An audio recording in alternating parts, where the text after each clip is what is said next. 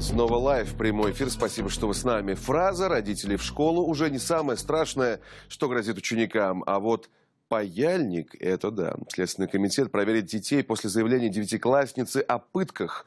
Во время медосмотра на теле 15-летней школьницы из Красноярска обнаружили следы побоев и ожоги. Девочка утверждает, раны на руках – следствие издевательств одноклассников. Сверстники несколько раз прижгли ученицу паяльником и избили. Речь идет о воспитанниках школы номер 11. По данному факту начали доследственную проверку. По ее результатам будет принято процессуальное решение.